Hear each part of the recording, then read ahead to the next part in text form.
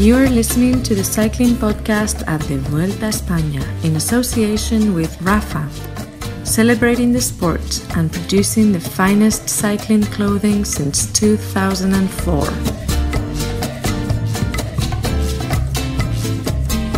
Hello, I'm Lionel Birnie. I'm at the Vuelta a España and I'm with Daniel Friebe. Evening, Daniel. Hello, Lionel. How's it going? You alright? Yeah, not bad. Not too bad. Not too bad, yeah. I'm finding the heat a bit much, to be honest. I've, I've Wouldn't wouldn't be your race, would it? The Vuelta. Why Wouldn't is be your race. as a competitor, no, as a competitor. I'd quite like You know Aitor Gonzalez, are you? I'd quite like the late start, like starting at two o'clock in the afternoon. That that definitely appeals. But no, the s- the searing uh, early September heat here in now southern Spain, really, aren't we? Southeastern Spain. It's been another warm day. Stage 18 of the Vuelta a España. Uh, it went from Requena to oh goodness, where were we this afternoon, Daniel? This afternoon we were in um, Gan- Gandia. Gandia, that's right. Eh, On the beach, really, weren't we? Did you have a look at the beach? No, no, I didn't. Not at all. Sorry, Lionel. I did. I had a very nice lunch with our colleague Andy Hood um, this afternoon. Uh, we'll hear a lot more from Andy Hood later on in the episode. Um, Spanish based journalist for VeloNews, a bit of an authority on Spain and Spanish cycling. But first of all, the tale of the Etapa, stage 18 of the Vuelta. And it was another win for Orica Bike Exchange and another win for a first time Grand Tour stage winner. Magnus Cort Nielsen, a 23 year old Dane, sprinted to victory ahead of Nikias Arndt and the winner from the other day, Jean Pierre Drucker. It was a fairly run of the mill stage, really, with a breakaway that was then reeled in just in time for the finish. In the break were Pierre Rolland of Cannondale Drapac, Fumiyuki Beppu of Trek Segafredo was in there, Mattia Cattaneo of Lampre Merida was in there, and Quentin Jauregui of AG2R was also in there, and they were joined a bit later on by uh, Louis Vervaeke of Lotto Soudal. And it was it was pretty much a formula um, stage, formula flat stage, although not awfully flat because there was still over 2,000 metres of climbing again, I think, according to the road book. And it was very much like a Vuelta stage from the 1990s, wasn't it? Um, there were many years, well, I certainly remember growing up watching Vuelta stages uh, where they would ride for hours over sort of rolling breadbasket type uh, terrain and very dry, very arid, um, on very big roads, on sort of N road, national roads. And it was the first stage like that in this year's Vuelta, but it was very much like a 1990 stage of the Vuelta. It was. It's the sort of stage that I've been pretty harsh on over the years, either in print or on the podcast. A s- the- A stage without a great deal of character. It didn't really show the, the, the best of Spain, but I suppose that's the swings and roundabouts of a Grand Tour, isn't Oh, it? it's quite beautiful. Uh, not as not close up in wide shots maybe, but when it was close up, like you say, it was sort of um, sort of flat, uh, wide roads. Didn't look the most dynamic, but the uh, the finish was impressive from uh, Nielsen and Orica Bike Exchange having a, a great Vuelta, aren't they? As they had uh, a very good Giro and a decent Tour. Yeah, I mean, the, the big question, as far as they're concerned, is how they're going to continue this in over the next two or three years because they've really taken a well, taken a decision to focus on Grand Tours. I think on the back of the success of Esteban Chaves and the Yates brothers, and you know, they've got more talent in those in that department coming in with Roman Kreuziger and Carlos Verona, um, and they're really sort of moving resources towards that side of the team. But um, Cort Nielsen today showed that you know you can still bring guys to well certainly a race like the Vuelta, whether or not a lot of good sprinters, um, and he can work most days for the captains. I mean, he, he said today that it was only about three kilometres from the finish that he decided that Chaves and Yates were okay and they could look after themselves, or were being well looked after, and he would actually go for the sprint. Um, don't know what it says about the other sprinting talent here in the race. Um, It's been pretty bare, hasn't it? It's been very bare. There hasn't been really anyone to talk of, has there? But then there hasn't been a great number of sprint stages for them to target. And with the World Championships uh, that little bit later, um, the Vuelta perhaps not the ideal preparation for the Worlds this year. The World's almost certainly going to be a sprint um, unless somebody does some amazing flying breakaway in the closing stages. Just on Orica Bike Exchange, a few mornings ago, it would have been on the morning that uh, Alberto Contador and Tinkoff really ambushed Chris Froome on the stage to Formigal. I had quite a long chat with Neil Stephens, the Orica Bike Exchange sports director, um, because I wanted to ask about the move the previous day. Um, where Simon Yates and almost half the Orica Bike Exchange team joined forces to catapult Yates away, and he climbed up from, I think, if memory serves right, from seventh overall to at the time fourth overall. And he slipped back another place now, he's lying fifth. Um, we didn't end up playing that interview simply because events really took a, such a dramatic turn, and it, uh, and, you know, it, you know, we we basically didn't have time in the episode. But what was interesting, Neil Stephens was trying to say that this move towards becoming a GC team hasn't happened by accident. It's been part of a long term plan from the start. They decided that the most cost effective way to make an impact when they first came on the scene was to have kind of rouleur, sprinters, time trialists. Um, it's a well trodden path because Cervelo did that to an extent, um, Slipstream, Garmin did that to an HTC, extent. HTC, certainly. HTC definitely did that. Um, and now they are in a position where, and I said, "Oh, you've evolved into a GC team," and Stephens corrected me and said, "No, we're evolving, but we've we've got the talent and we're learning and we're we're trying things out." And it, and it struck me that that move on the stage to the Col d'Aubisque was. Um, very much a let's see what we can do. Can we, exe- you know, can we come up with a plan and can we execute it? And let's just have a have a, a good go at it. In Chaves, they really have got someone who could if the course were right and it wasn't too heavy on time trialing, could win a, a Giro or a Vuelta in the you know the next two or three years. Do you agree with that? I I do, Lionel. Um, in that he's pretty close here. I mean, um, he's only I forget exactly the time gap, but he's only about four minutes um, or just under four minutes, I think, adrift of Quintana here. Um, however, you know. Chaves is, I think, 26, 27 now.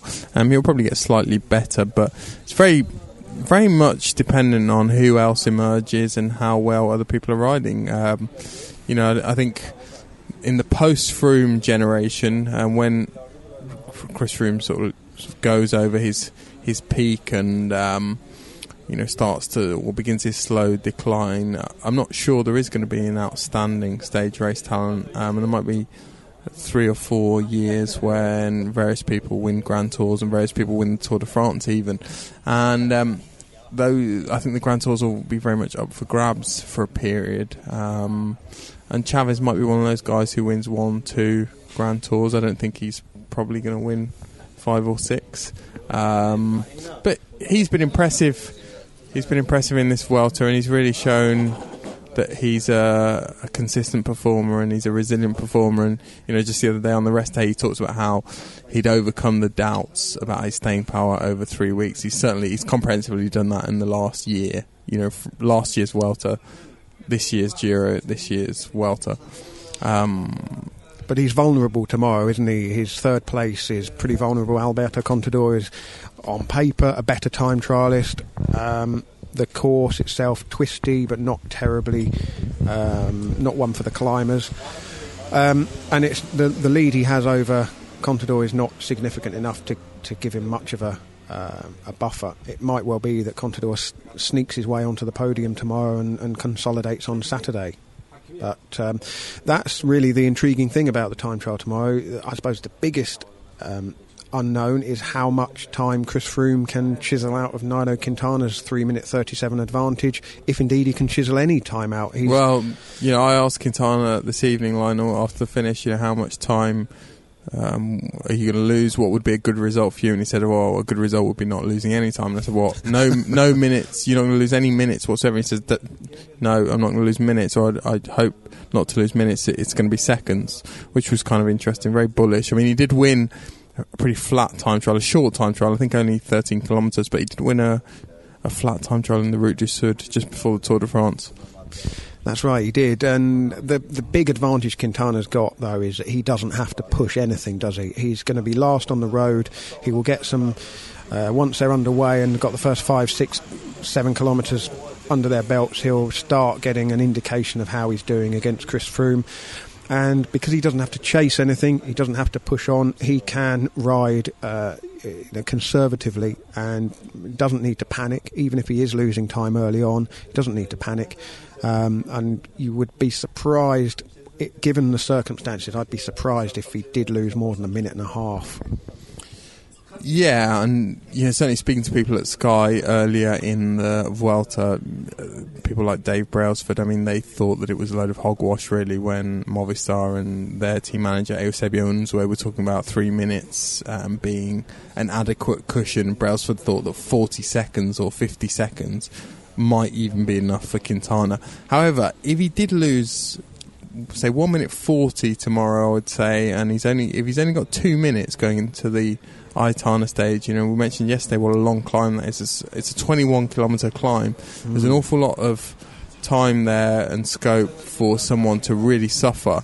Um, if he happens to be on a bad day, and you know, Froome just just sort of talking kind of almost off the record, but um, just casually with Froome the other day. You know, he, he, said that he thought that Quintana might be a little bit tense. He might be a little bit nervous. Um, yeah, he hasn't looked nervous in the last two days, certainly, but come that last mountain stage, who knows what's going to happen? Eurosport, the home of cycling. Well, tomorrow is the day that will really uh, shape what happens on Saturday. It, will be interesting rather than absolutely Time gripping. trials anything ever gripping, Lionel. Oh. I'm really glad that they've scheduled it on a Friday, so they're not, they're not going to ruin anyone's weekend. yeah, they might set the weekend up for a, a bit of a damp squib.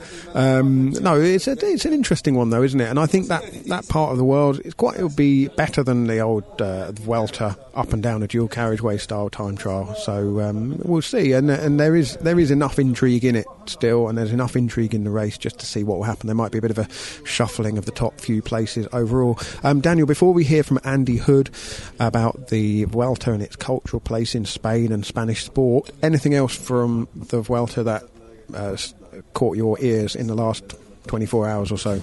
Well, this morning, Lionel um, had a quite a long chat with Javier Guillen, the race director. He's been criticised a fair amount in the last few days for, um, you know, there, there being too many of these extreme very steep summit finishes, and we saw another one yesterday.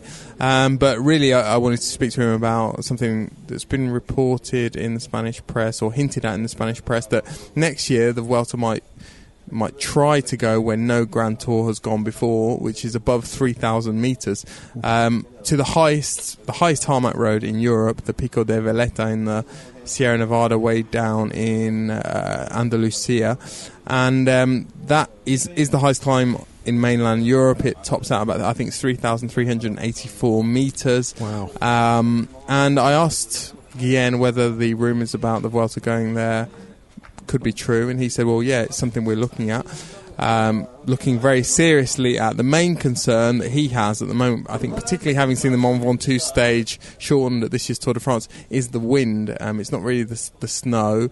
Um, in August and certainly well early September, snow shouldn't really pose any problems. And yeah, the road is fairly rough, but it could certainly be sorted out for the Vuelta. Um, but I got the sense from him that it's something that he really wants to try and, and possibly next year. So that'll be absolutely fascinating, I think yeah, that is very, very high indeed, isn't it? But riders do train in the Sierra Nevada, don't they? I don't know whether they would, would use that road for training. A few, a few have, have gone right to the top. I mean, generally when they um, when they stay at in the Sierra Nevada when they're training altitude. There's a there's a high altitude center at the I think it's the Sol y Nieve um, re- resort, which is about 2,100 meters above sea level, and the sort of the, the well surfaced road finishes at about 2,550 meters. So there's a there's a hell of a long way to go after that. There's 900 meters of vertical of altitude gain to go after that before you actually reach the summit of the the Veleta. Um, but and the Vuelta itself has actually gone to 2,550 meters on the um, on that road. But um, it would certainly be well. It'd be a fascinating spectacle, I think. Yeah, I mean, 3,300 meters really is nosebleed and headache territory, isn't it? Though, I mean, that's uh, that's something that would would really test the, even the best riders. Just being at that um, altitude and, and trying to perform to their maximum. That's that's almost as unknown as, as having a very steep road, isn't it? I think the top 20 riders on that stage would possibly be Colombian. no. Very possibly. Well, we'll wait and see whether that happens. The route for the 2017 Vuelta will be normally announced in either late December or early January, isn't it? It's quite it's the last of the three Grand Tour routes to be announced. The Cycling Podcast in association with Rafa.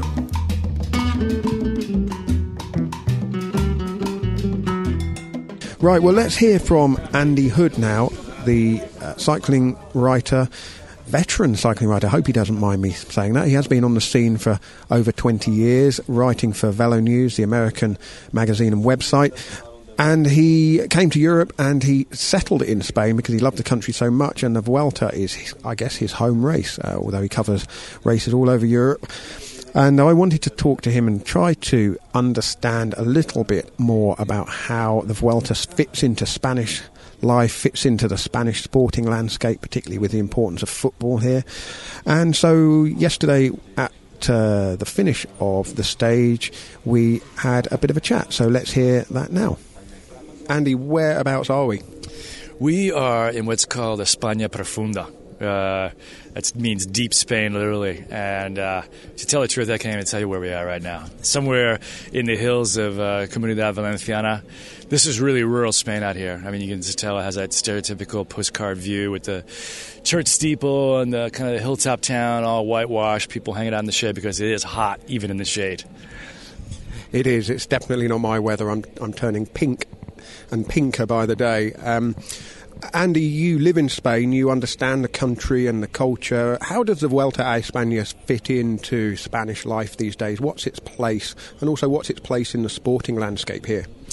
Yeah, it seems like that the Vuelta, it's kind of interesting because the Vuelta on one side, uh, within the sport of cycling, uh, has really evolved and, and, improved dramatically from where it was, say, 10 years ago. I think the race is really uh, on, on par with the Giro, I'd say and in a lot of ways almost better than a Giro in terms of the quality of riders here. I mean, we've seen, come on, Froome and, and Nairo and Contador and all those guys. And, and this year's a little bit different because the, it's a sprinters' world, but typically get the big crew of the world's bound riders come to the Vuelta to, to, prepare as well. So in terms of that aspect of the Vuelta, it's better than ever, I think.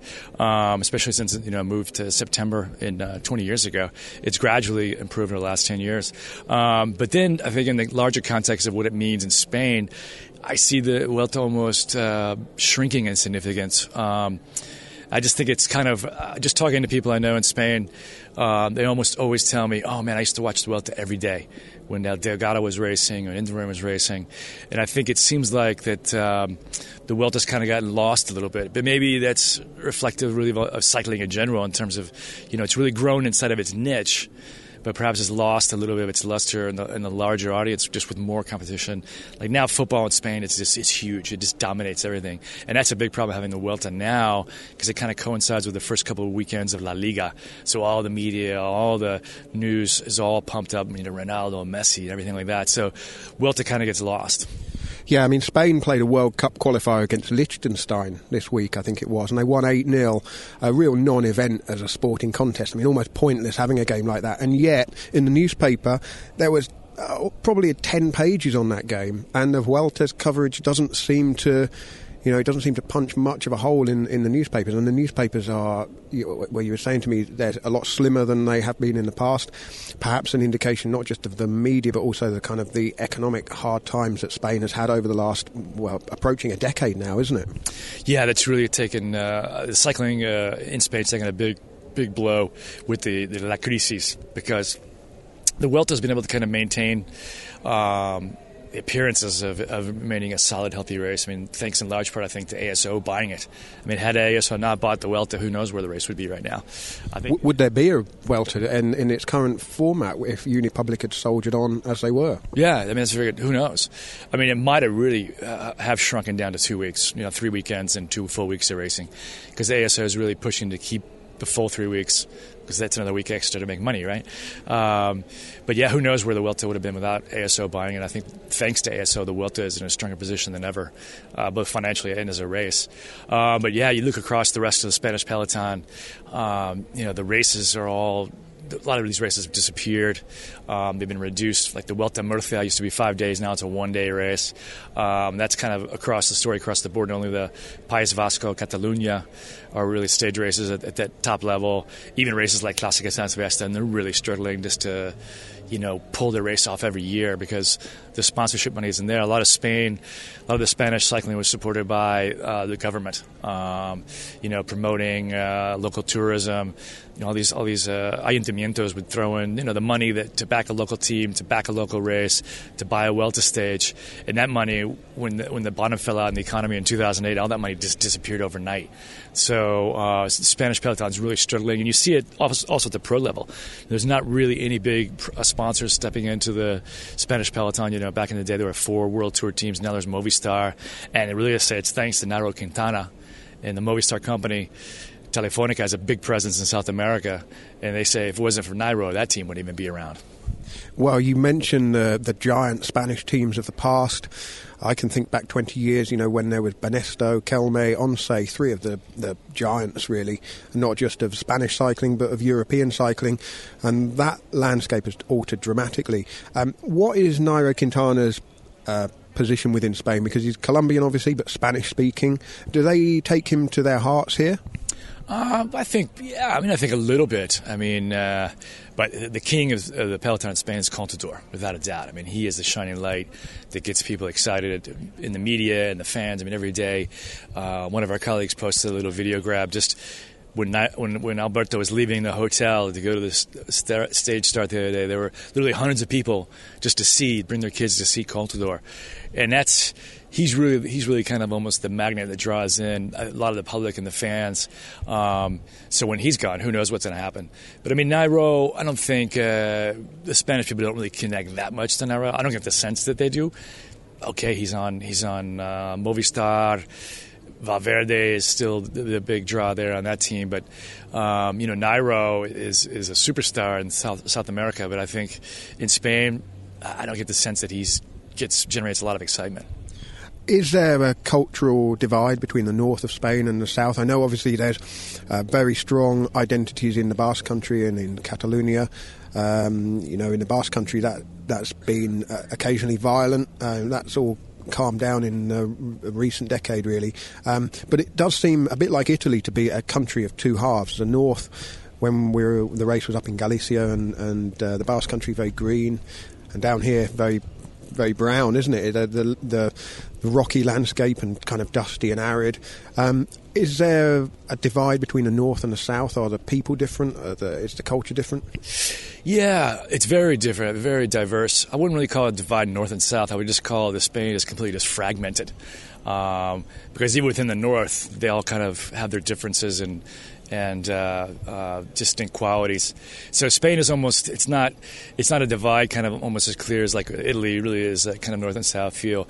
But it just seems like everywhere you go, it's a different, almost a different language, different kind of kind of local culture, local foods. Even the people kind of look different; they have a different accent, and that's something that really came out of after uh, when Franco died, and they kind of did the transition to democracy, they created these uh, autonomous regions, you know, based on these historical kind of uh, regions, you know, Catalunya, País Vasco, uh, Andalusia, and all these kinds of places. And so, in a lot of ways, that's given the local communities kind of more voice and more identity than they've had really in recent history in Spain. But it's also kind of created this kind of uh, fragmented uh, political landscape. Like uh, you notice, there's been two elections now in Spain, and they still can't get a government going.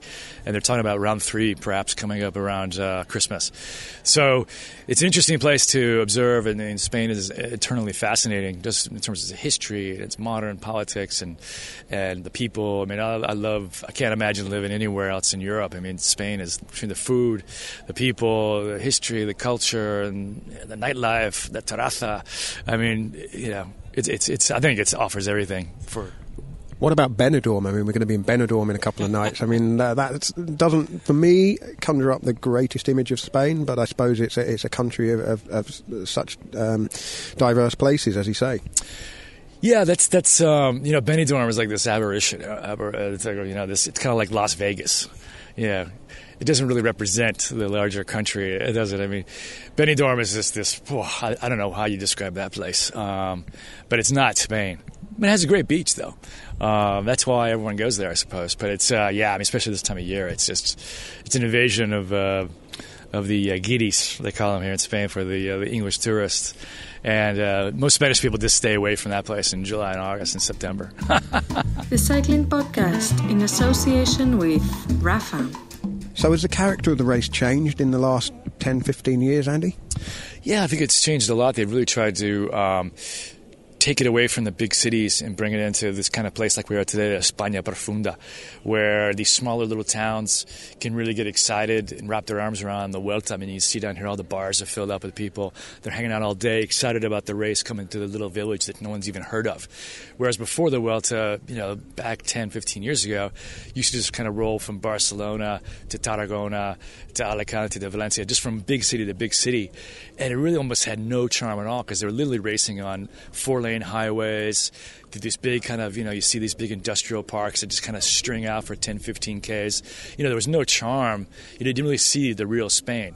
So this was a move, and they started about eight, ten years ago, kind of moved out of the big cities, moving into these smaller communities, and it's really made, I think, the Vuelta much more reflective of Spain and a much more uh, beautiful race because the, the roads are better as well. Who's designing the route these days, or who and who was responsible for that kind of change of direction? Uh, the main force behind it was Olano. Abraham Olano, the former rider, and he kind of got muscled out uh, in the whole wake of the Armstrong storm. And then they had this uh, the French report that came out from that uh, tour. His name was somehow mentioned in there, and I think there was some maybe some bad blood, and then no pun intended, between uh, maybe uh, you know back in '98 between I think if he was on was he on Once that year I can't remember what ah, there's some old stories there and ASO flicked him they flicked Olano uh, which I thought was kind of an unfair move really. Um, and then uh, Escartin has kind of moved into that role and uh, there's some other people involved here in the World Organization that, that kind of kind of search out these kinds of new. They're always trying to find new kind of undiscovered climbs. The, the climb we're seeing uh, uh, today is, is, one of those kinds of climbs, and uh, in Spain it's just full of these kind of almost goat paths that are just paved goat paths, like the Angliru. I mean, I don't know if you've ever been up there before, but that's literally just a goat path. the search is on for steeper higher, more remote, isn't it? I guess. Yeah, yeah, that's something I think both the Giro and the Vuelta have really been pushing the envelope on that, and it's been great to see actually the Tour kind of pick up on that, and, and even the last couple of years we've seen a few of these uh, Tour finishes that.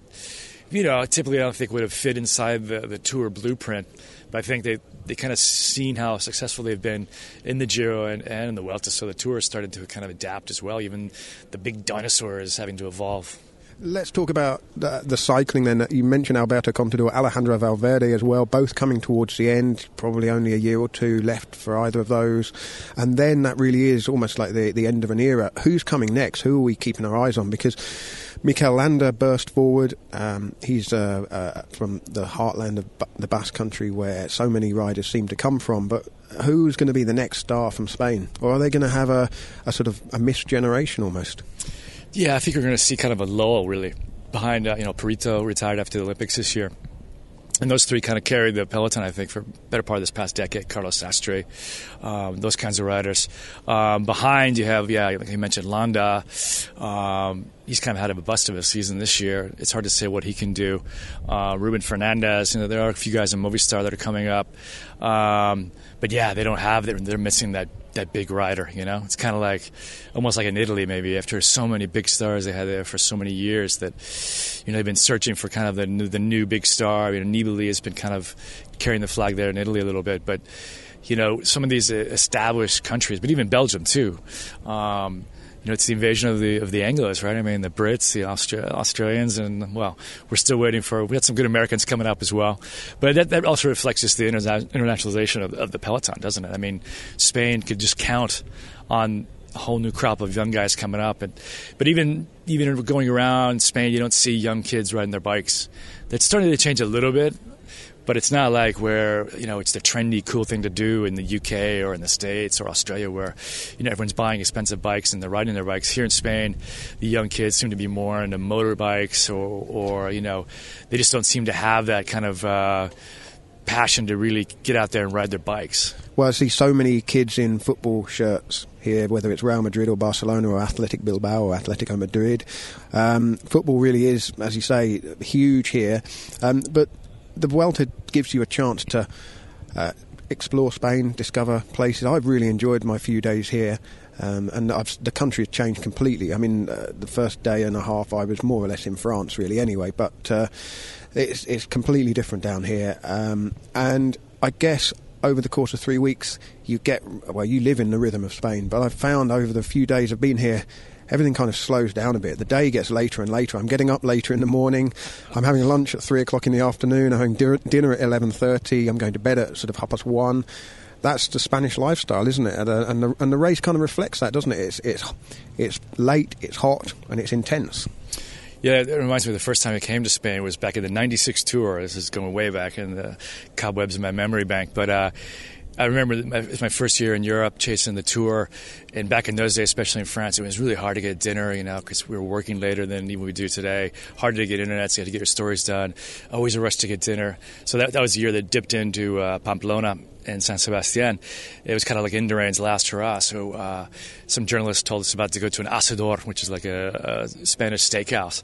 So we went to Pamplona. I was chatting with an American friend of mine. We were so excited to go to Spain and, and you know have a little bit of fun maybe. And we went rushing in. Kind of left the stage earlier that day. I think rushed into Pamplona.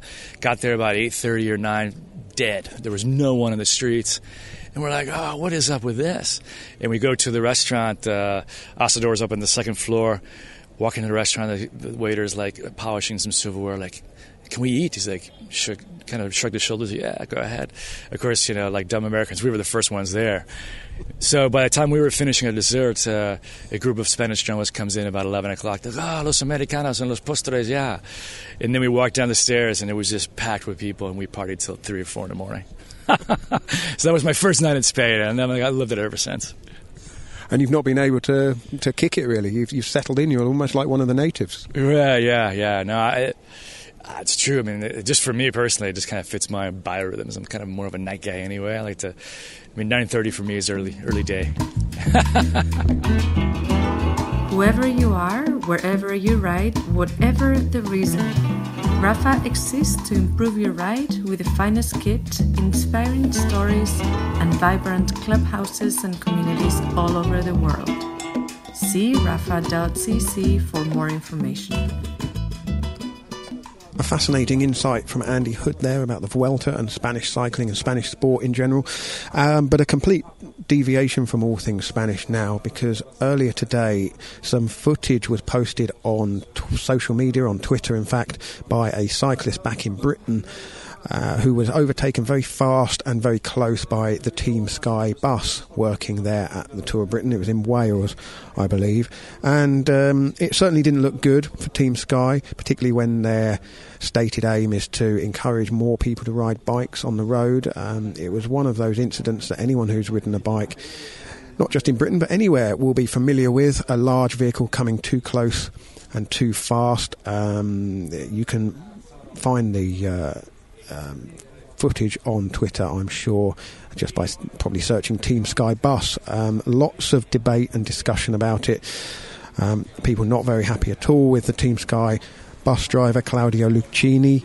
Um, and Team Sky were very keen to um, say something about this and make it clear that they take their responsibilities as road users very seriously. Um, wouldn't ordinarily cover this kind of thing, would we, Daniel? Um, we're not really a podcast looking at sort of road safety issues or cycling issues, although certainly I have a, a very keen interest in that kind of thing. But it's not really what we do. We are a pro cycling podcast. But because Dave Brailsford, the team principal, was here in Spain, and because um, the incident um, looked so uh, well. It looked pretty bad, really, when when the footage is viewed. I wanted to find out what Dave Brailsford had to say, and so I caught up with him at the other Team Sky bus at the finish of today's Vuelta stage. Well, I think first and foremost is um, is to apologise, obviously, to the cyclist uh, himself. Um, it's certainly something that we wouldn't want to happen, and uh, certainly something that shouldn't happen, really. And um, you know, we all cycle pretty much every day. We're all cyclists, and Claudio, the bus driver himself, is a cyclist. And um, you know we don't want to see that really. We want to promote uh, safety on the roads. We want to make sure that all cyclists, you know, we're trying to increase participation in the sport, and um, so it's important to us to set a good example. Um, particularly given all the team vehicles that we have on the roads, not only in Britain but you know around Europe. These guys do. We've got two team buses, and um, they do over 60,000 kilometres a, a year and very often surrounded by a lot of cyclists. You know, when we drive from the, the here at the Vuelta, um, particularly on the mountaintop finishes, we'll, we'll drive from stages and you'll be descending down and you'll be surrounded by cyclists who are, who are obviously fans coming down the mountain themselves. So um, it's a, it's, it's, it is an important issue. And um, like I say, first things first is to absolutely apologise to the, the, the rider in question, and then secondly, really to look at that internally. I've spoken to Claudio actually myself. I phoned him up uh, from here and uh, we had a chat about it. And he was really, really upset about it. And um, he was saying actually on that particular trip he'd he was driving through the, the narrow roads of Wales and he'd passed, he said, probably, you know, 100 cyclists already, uh, you know, after the finish at a stage. And um, and sometimes people make errors. And, um, and on this occasion, you know, I think uh, it, it, did look whatever happened and whether it was close or too close or not, it obviously uh, shocked the, the rider, upset the, the individual, and scared them. And, um, and, and we don't want that to be happening. Because as a cyclist yourself, you know what that's like when a big vehicle comes fast and close past. Um, what kind of qualifications do the drivers on the team have to have in order to uh, drive the team bus because this is a big old vehicle, isn't it? It is, it is, and they all have to obviously have, have to pass the, the, the, the tests and, and, and, have all the appropriate um, licenses. And we we, uh, we we talk a lot about that actually, and, and, and driver training, and um, and we know that with all HGV and, and, and big vehicles now, um, the uh, having to think carefully um, and perceive the actions of cyclists to make sure that you, you, when they do come along cyclists, we actually we were, I was chatting to it earlier with Chris here, uh, the driver of, of, of, the bus here in the and we were going through actually, you know, in your in in your training, in your tests, what, what what are the you know what are the key things when you, you're taught um, uh, about cyclists, and it's very very much at the, at the forefront of the minds and. Um,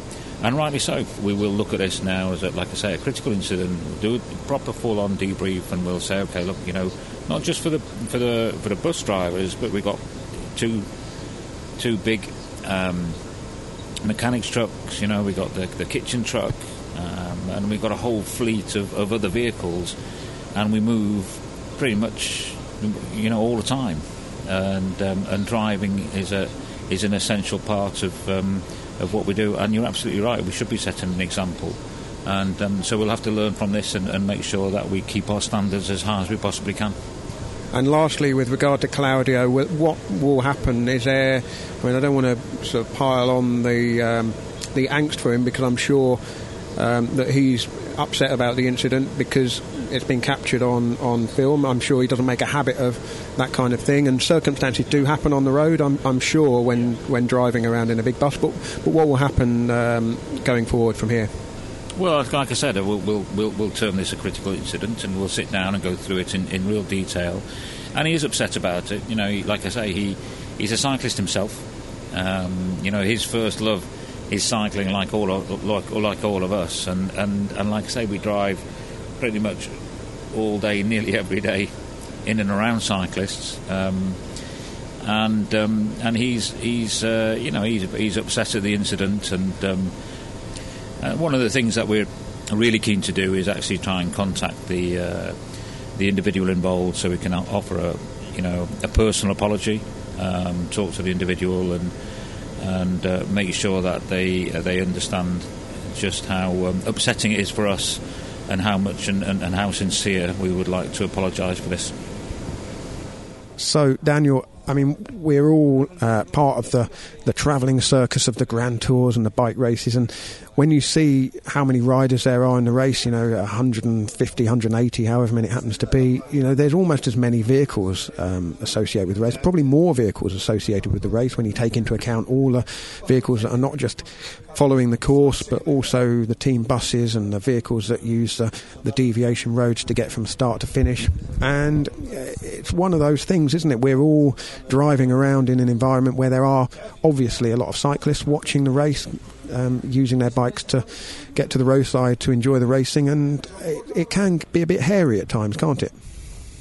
Yeah, it can. Um, and it's also, I, I, don't know, I suppose it's quite difficult to judge a, clip taken from a GoPro camera, I presume, a helmet cam- camera. And, um, you know, I mean, I think we've all had the experience of being, having been out riding on the roads and the cars come quite close or very close, and you know you do get upset at the time, but um, I, I, think it's quite difficult to tell how irresponsible, partic- from that particular clip, how irresponsible the driver was being. Or, um, but yeah, I mean, uh, stating the obvious, but common sense really should prevail, and uh, you know it's it's a good thing that Team Sky seem to be contrite about it yeah, they're certainly taking it seriously and uh, not seeking to kind of avoid it or brush it under the carpet.